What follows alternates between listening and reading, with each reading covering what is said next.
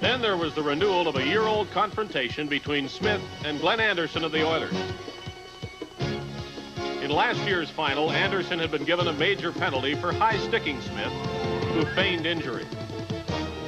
The referee at the time was Andy Van Hellemond, who passed judgment this time as well. I was on that side, Billy. I thought he just glided. Tried to take my knee out. I didn't